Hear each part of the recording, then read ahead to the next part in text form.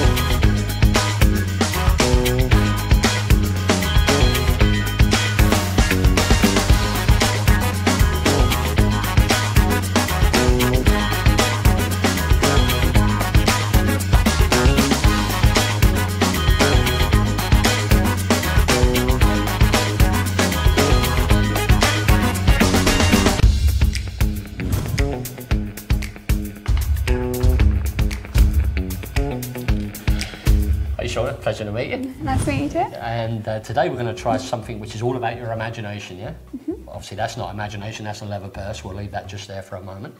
And I want you to imagine I take out four dice, you know, like you play board games with from my pocket. Yeah. And imagine you're just holding them in your hand and they're all different colours.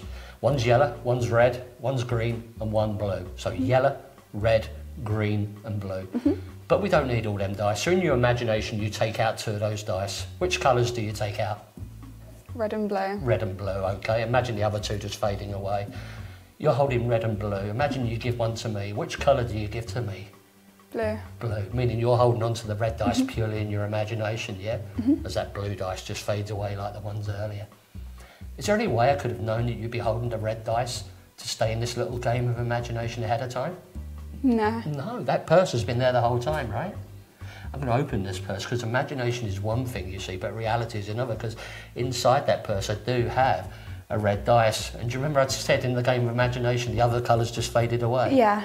They well and truly did, my love, because you see, that's faded away, that's faded away, that's faded away. You have a wonderful imagination. How on earth did you do that? do I get a five? Bloody hell.